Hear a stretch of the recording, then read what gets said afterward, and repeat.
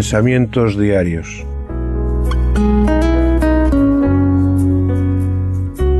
Sencillas pero profundas reflexiones para cada día de nuestras vidas. Meditaciones de la palabra de Dios nacidas de un corazón agradecido por su gracia y misericordia. Pensamientos diarios.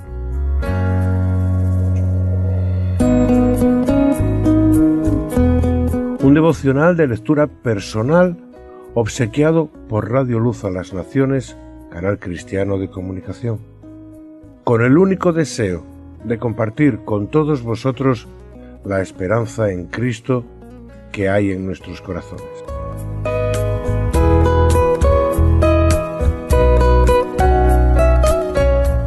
La razón.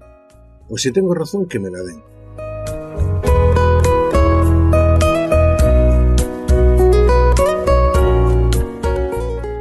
Cuántas ocasiones hemos pronunciado estas palabras?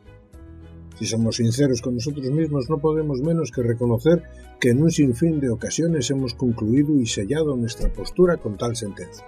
Ahora bien, si lo pensamos por un momento, no estamos intentando mantener una incongruencia, porque si lo tienes, ¿qué te van a dar?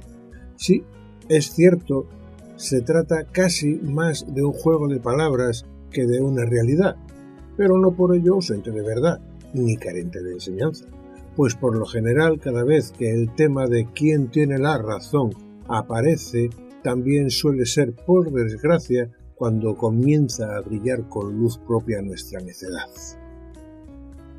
Pero Dios le dijo, necio, esta noche vienen a pedirte tu alma. ¿Y lo que has provisto? ¿De quién será? Evangelio de Lucas capítulo 12, verso 20. Cuando llevamos nuestra mente a la imagen de ese hombre rico, casi siempre lo vemos rodeado de muchos y grandes bienes.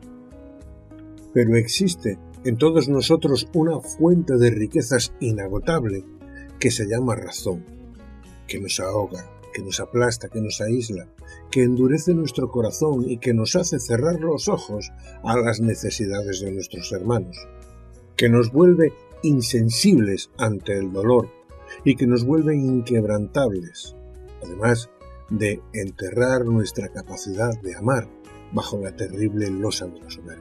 Todos nosotros vivimos una doble vida. Me explico.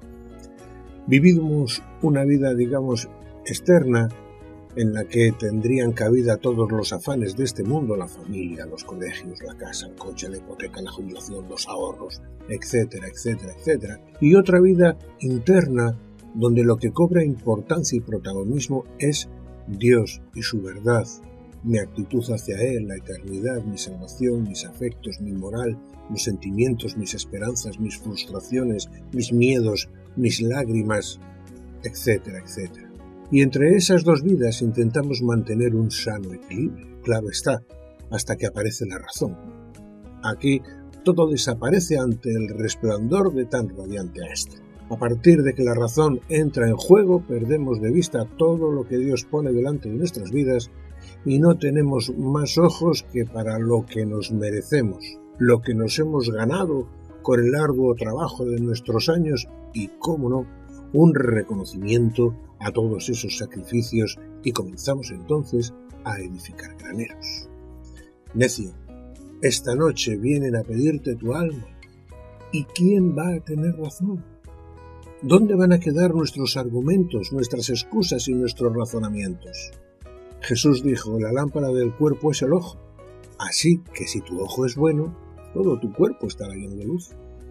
Pero si tu ojo es maligno, todo tu cuerpo estará en tinieblas. Así que si la luz que hay en ti es tinieblas, ¿cuántas no serán las mismas tinieblas?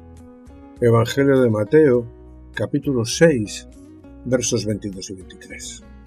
Indudablemente la manera en la que miramos no ya la vida de los demás, sino también nuestras propias vidas, pueden hacer que perdamos de vista no solo la verdad que Cristo trae a nosotros, sino que acabemos por pleitear con Dios mismo al vernos merecedores de lo que solo es pura gracia.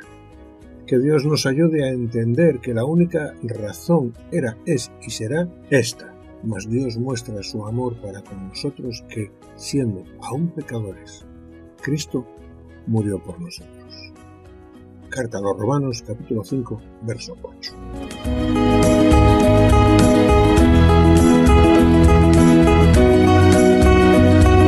Pensamientos diarios. Meditando en la palabra de Dios. Santificad a Dios el Señor en vuestros corazones, y estad siempre preparados para presentar defensa con mansedumbre y reverencia ante todo el que demande razón de la esperanza que hay en vosotros.